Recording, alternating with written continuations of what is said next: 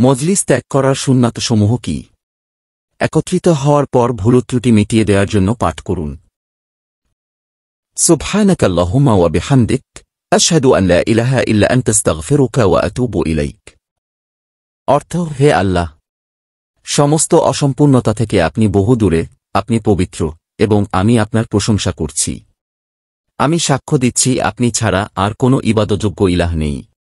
আমি আপনার ক্ষমা প্রার্থনা করছি এবং আপনার নিকটেই প্রত্যাবর্তন করি। একজন মুসলিম দিনে রাতে বহু মজলিসে একত্রিত হয়, যেমন, খাওয়ার সময় যখন অন্যদের সাথে আপনি কথা বলেন। যখন আপনি আপনার প্রতিবেশী বা বন্ধুকে দেখেন, তখন নিশ্চয়ই কথা বলেন। যখন কাজে, স্কুলে, পড়ার স্থানে আপনার সহযোগী সহপাঠীদের সাথে থাকেন। যখন আপনি বাচ্চা এবং স্ত্রীদের সাথে কথা বলেন, একত্রিত হয়ে। যখন আপনি ভ্রমণে থাকেন, পাবলিক লেকচার অথবা নিজস্ব পড়াশোনা ইত্যাদি সময়ে। লক্ষ্য করুন কতবার আপনি দিনরাতে এই দোয়া উল্লেখ করতে পারেন এবং আল্লাহর সাথে আপনার সম্পর্ক রাখতে পারেন।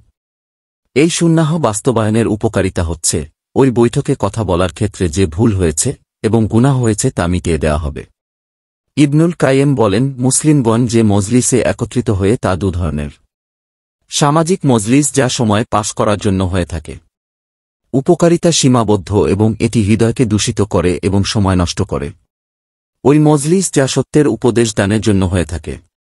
এটি হচ্ছে বিশাল অমূল্যধন এবং সবচেয়ে উপকারী।